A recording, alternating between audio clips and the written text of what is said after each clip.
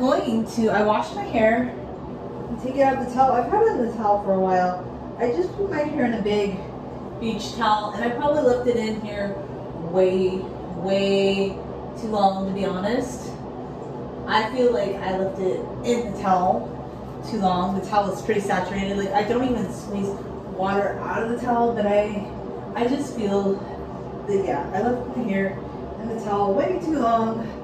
That's what I think and feel about that. But I'm gonna use in a very cautious sort of way.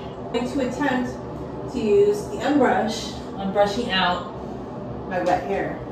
I'm gonna do wet my hair though because yeah, I waited a little too long to start combing. I should have started earlier, of course. Definitely, definitely should have started earlier. I'm gonna see if I like.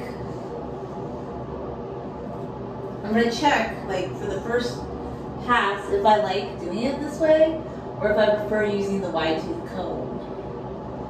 Let's see. So I'm gonna put a little bit of leave-in conditioner in all of my hair. Okay.